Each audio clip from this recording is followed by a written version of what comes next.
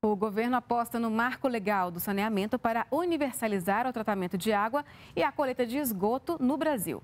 O ministro do Desenvolvimento Regional, Gustavo Canuto, falou sobre esse e outros assuntos numa conversa exclusiva com a repórter Luciana Colares de Holanda. Veja como foi.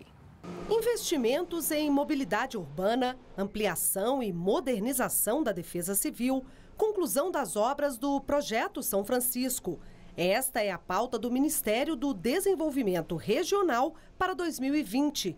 Numa entrevista exclusiva à EBC, o ministro Gustavo Canuto disse que o foco é dar continuidade ao trabalho realizado no ano passado. Garantir o que está em execução, retomar o que está parado e, se tiver uma sobra de orçamento, de financeiro, começar novas obras. Esse é o objetivo principal. Entre tantos projetos, uma das prioridades para este ano é agilizar obras de saneamento e a construção de habitações populares. Segundo o ministro Canuto, serão quase 70 bilhões de reais em investimentos nas duas áreas. A expectativa é contratar mais de 500 mil moradias, beneficiar cerca de 5 milhões de pessoas com saneamento e ainda gerar 1 milhão e 300 200 mil empregos em todo o país. O marco legal do saneamento, que renova as regras do setor e possibilita a entrada da iniciativa privada na prestação de serviços, vai ser um importante aliado do governo federal.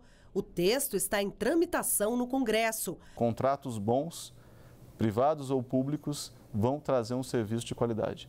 Por isso que é essencial essa mudança trazendo normas de referência, fazendo contratos com metas, indicadores que possam ser fiscalizados, possam ser auditados e, e aí sim separar aqueles prestadores que têm qualidade, que querem prestar um bom serviço, daqueles que não têm.